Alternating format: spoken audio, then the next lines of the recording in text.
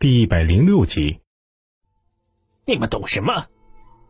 中年伙计瞪了他们一眼，愤愤然道：“两斗米难道就不是钱了吗？这一下就亏了我四文钱，四文钱我用来买十个羊肉馅包子，但吃不香吗？”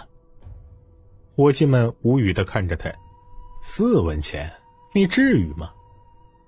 就在此时，一道熟悉的身影走了过来。众人错愕的看着他，这不是陇西李氏府邸的管家吗？他竟然亲自跑到这里！伙计们连忙抱拳道：“李管家。”李管家颔首问道：“收了多少粮了？”中年伙计连忙道：“两斗。”李管家一愣，迟疑道：“竟然还能收两斗？这又是哪个傻子？朝廷开了皇家粮食。”足足比咱们多了两文钱一斗，竟然还有人愿意把粮卖给咱们店里。店内伙计们目光看向了中年伙计，中年伙计沉默了两秒，干笑道：“ 谁知道呢？”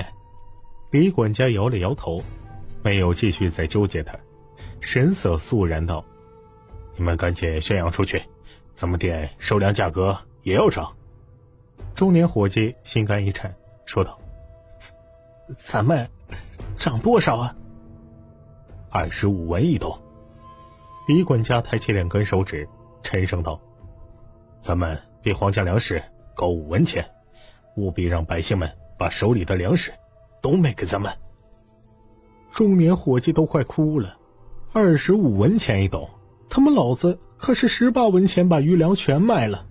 你早说你会涨价！”我打死也不会在那个时候卖粮啊！李管家看他哭丧着个脸，困惑道：“怎么了？”“ 没事。”中年伙计脸上露出了一抹勉强的笑容，抱拳道：“小的，现在就带人去宣扬。”李管家嗯了一声，挥手道：“学学朝廷是怎么做的，你们也去整个锣鼓，好好走街串巷去传。”说罢，他便大步朝着陇西李氏府邸而去。寒光门外，沈炼的速度很快，皇家粮食的招牌已经挂在了城墙上。皇家盐食在左，皇家粮食在右。很快，越来越多的百姓们聚集了过来，兴奋地提着两米袋子，望着沈炼身穿皇家侍卫的袍服，大声喊道：“哎，朝廷要二十文一斗收粮！”是不是真的？有多少收多少吗？我可是准备了七十斗粮，能能全收了吗？听着百姓们的询问声，沈炼面色冷峻的脸庞露出一抹笑容，淡淡道：“朝廷做事自然不会是假，此次朝廷已经明令，不管是多少粮，照收不误，一律按照二十文一斗收。”好。我卖！哎呀，我这七十斗粮全卖给朝廷了。百姓们激动的说着，高高举着粮袋子，不停的向前挤着。当当当！就在此时，一道道锣声响起，紧跟着一道道吼叫声响彻百姓们耳畔。李家粮店二十五文钱一斗，收粮了。王家粮店。二十五文钱一斗，收粮了；卢家粮店二十五文钱一斗，收粮了；郑家粮店二十五文钱一斗，收粮了；崔家粮店二十五文钱一斗，收粮了。一道道大喊声响彻云霄，百姓们兴奋，脸色顿时僵硬了起来，纷纷回头震惊的看着那些宣传的伙计们。收粮价格又涨了，皇家粮食二十文钱一斗，你们现在二十五文钱一斗。刚刚还一脸激动叫喊着要把手中粮米卖给朝廷的百姓们，此时一个个陷入默然，随即齐齐冲着沈炼干笑着道：“哈，我家还有事啊，卖粮以后再说。”我感觉这粮没拿够啊，我回去再拿一些。哎呦，哎呀，我怎么忘了给家里留点粮了？话音甫落，刚刚还如过江之鲫的寒光门外，此时百姓们瞬间跑路，朝着各个方式中的粮米店狂奔而去。沈炼拧着眉头，没有吭声。等到寒光门外的百姓全部散去，方才沉着脸朝着秦王府而去。梁家又涨了。秦王府内，李建成、李二、李元吉愣愣的看着带回消息的沈炼。沈炼神色凝重，点头道：“好叫三位殿下知晓，末将在寒光门外准备收粮，忽然的齐家粮店的伙计就提着骡跑过来，说他们的粮店以二十五文钱回购粮米，比朝廷收购价格还要多出五文钱。百姓们听到这个消息。”就全跑了。说着，沈炼看向翘着二郎腿的李泰，抱拳道：“还请陛下明示，皇家粮食接下来该怎么做？还能怎么做？”不等李泰吭声，李建成神色肃然道：“当然是咱们也卖了。”李二颔首：“二十五文钱一斗，咱们若是跟着卖的话。”之前翻一翻，现在就是要翻两番的。李元吉兴奋道：“赶紧卖呀，机会失不再来呀！”说着，三个人眼巴巴的看向李泰。李泰一边嗑着瓜子，一边眨眼道：“为什么要卖？皇家粮食刚开，那七位家主就跟着我作对，我能忍得了他吗？”不卖，咱们也涨价。他们二十五文钱一斗收，咱们就多过他。沈烈，你传出话去，就说皇家粮食购粮之价涨了，三十文钱一斗。诺。沈烈点头，转身离去。李建成急了：“陛下，哪有这么收粮的？”咱们管他五星希望干什么？趁着这个机会，咱们也抓紧卖粮才对呀！怎么还要再花高价去购粮啊？李二沉声道：“清泉，为父觉得这样没意义。”李泰气呼呼的拍了拍桌子，昂首道：“不行，说了要购粮，就必须购粮。我皇家粮食才开。”却连一斗粮都没收上来，这不是损了朝廷的面子吗？收粮，可劲儿的收粮，有本事这帮人就把粮价抬高到一百文。一百文收粮，谁他妈疯了才会这么做？三人匪夷所思的望着他，暗暗一阵摇头。李泰现在做事情真是越来越让人看不懂了。平康坊内，刚刚还门可罗雀的李家粮店外，忽然越来越多的百姓聚集了起来，一脸兴奋的举着粮袋子走过来，大声道：“还收粮吗？是不是二十五文一斗啊？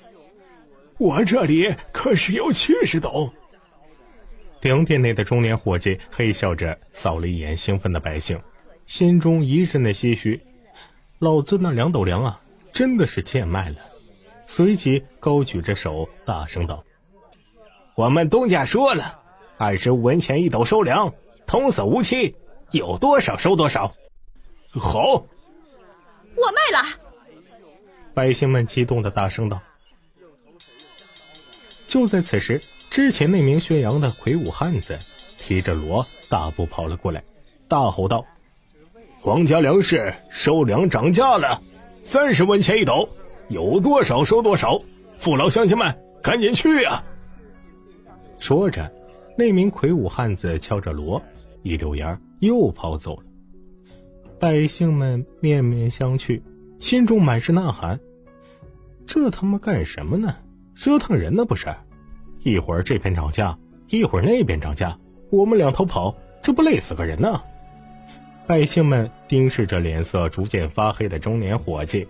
纷纷询问道：“哎，我说，你们李家粮店还涨不涨啊？”“就是，给个准信儿啊！”“你们要是涨，我们就不跑了。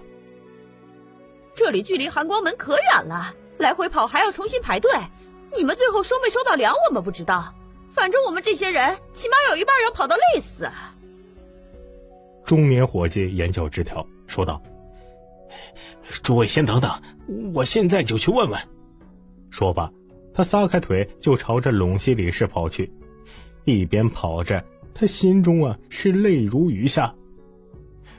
收购的粮价又涨了，皇家粮食竟然三十文一斗收，他们老子那两斗米啊，十八文卖的，他们现在行情都涨到三十文了。四舍五入，老子起码亏了一贯钱呢。中年伙计悲痛欲绝，重重拍了一下右手：“我他妈就怎么管不住这双手呢？早知道多等等了。”正在此时，一道熟悉身影迎面走来。中年伙计连忙顿足，抱拳道：“李管家。”李管家脸色阴沉。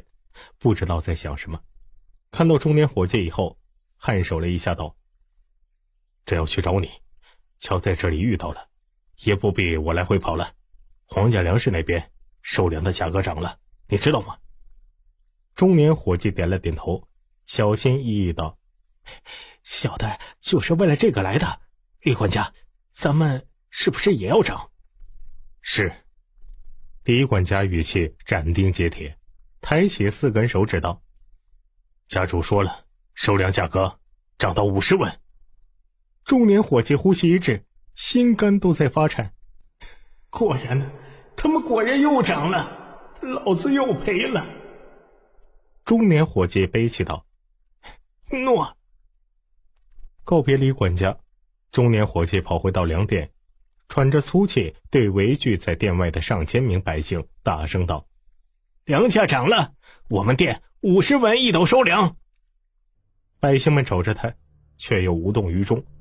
中年伙计看他们迟迟不动，又不说究竟卖不卖，一脸呐喊道：“诸位怎么了？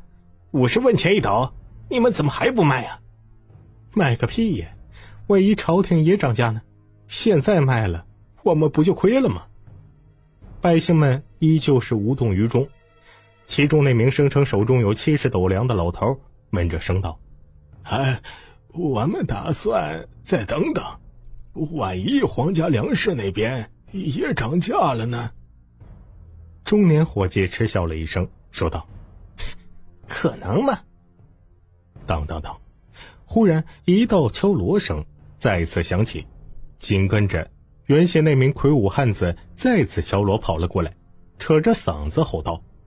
皇家粮食收粮了，六十文钱一斗，赶紧来卖呀！说着，他又大跑而去。然而还没跑几步，便被百姓们拦住了。身为皇宫侍卫的魁梧汉子一脸错愕地望着拦在面前的十余个百姓，说道：“嗨，你们干什么？赶紧去卖粮啊！你别走了！”那名号称手握七十斗粮、身穿绸缎的老头怒声道。你就留在这儿，我们要就近听消息。万一等会儿又涨，呃，不是害我们两头跑吗？魁梧汉子摆手道：“哎，不可能，这可是六十文一斗的价格，哪还能再高啊？我在长安城这些年，嘿，就没见过这么离谱的价格。怎么不可能？”老头指了指粮店里的那名中年伙计，大声道。他刚才也说不可能，嘿，你不就来了吗？本集播讲完毕，欢迎您继续收听。